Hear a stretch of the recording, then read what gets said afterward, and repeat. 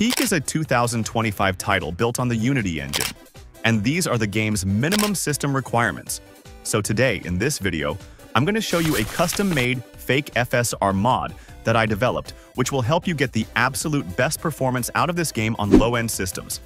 Whether you're struggling with lag, stutters, or low frame rates, this mod is designed to give your PC the boost it needs. So without wasting any more time, let's jump right in. So first, I'm going to run the game using my integrated graphics.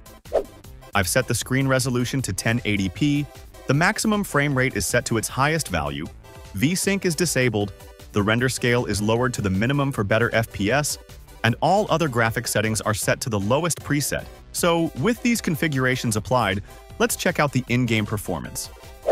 Well, the game is still playable at these settings, but I'm noticing some FPS drops and occasional stuttering. So, if your game is still lagging or stuttering even after applying the lowest settings, don't worry.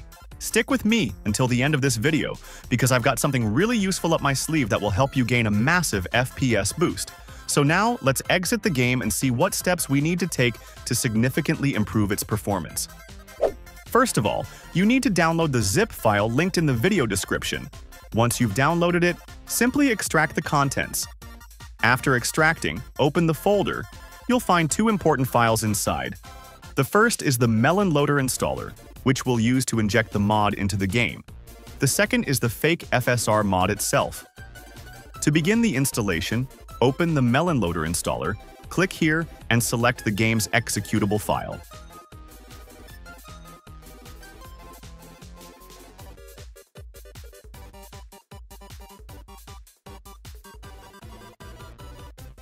If you get an error, it likely means the game has already been added. Just select it from the list provided. Next choose Melon Loader version 5.1, which is recommended for this mod. Then click Install.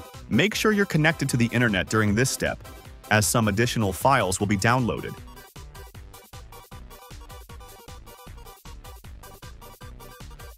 Once Melon Loader is installed, close the installer. Now take the DLL file and paste it into the game directory